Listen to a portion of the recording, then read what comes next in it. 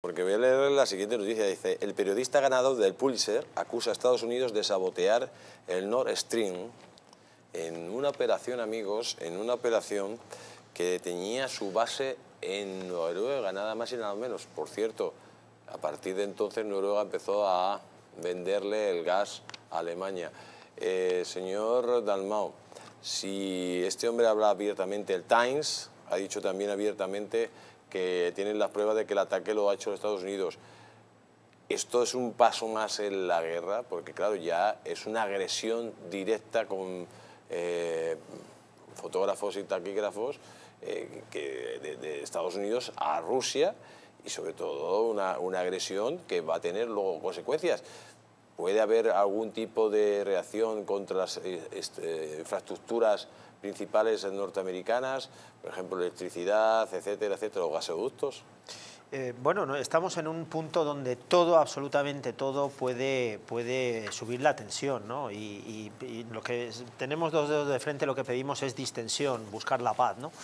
Eh, lo que está pasando aquí, además los ataques de falsa bandera que ha habido directamente también al, Nord Stream y, también en territorio ruso, ¿no? ha habido ataques de, falsa bandera, no, no, hay más que, no hay más que verlo cómo se están produciendo diferentes conatos en diferentes sitios para, para aumentar esta tensión, ¿no? porque aquí la víctima, todo esto hay que decirlo, la víctima somos los europeos, eh, la víctima eh, de la guerra mundial, después de Yalta y de Potsdam, que fue la continuación de la doctrina Monroe, que fue el quinto presidente de los Estados Unidos, eh, que, no decía nada más que América para los americanos, pero la continuación fue que Europa, a partir de Yalta y después de la Segunda Guerra Mundial, prácticamente desapareció. Y ahora mismo prácticamente Europa es otra vez la víctima y está desapareciendo económicamente, socialmente y está desapareciendo políticamente.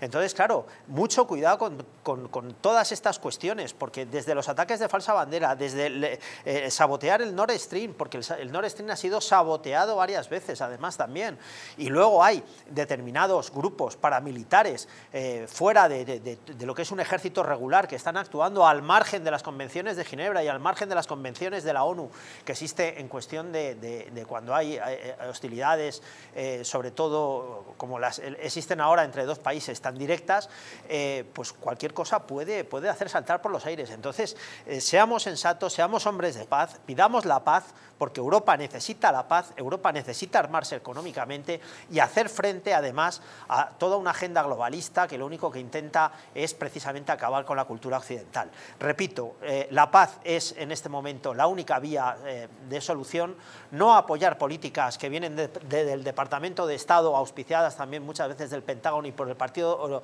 Demócrata de Washington, o sea, por el lobby demócrata de Washington, y distendamos todo esto, encontremos y busquemos la paz en beneficio de los europeos y de nuestros países. Bueno, es que pensar que, como se dijo en algún momento, que es que el, gasoducto lo habían eh, lo habían bombardeado los propios rusos es una cosa como estúpida, ¿no?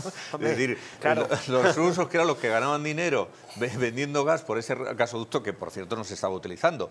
Ah, hay que, hay que recordar que la señora Victoria Nuland eh, y el señor Biden y otros dirigentes americanos y el señor Blinken también dijeron que ese gasoducto no va a funcionar y que se lo iban a cargar.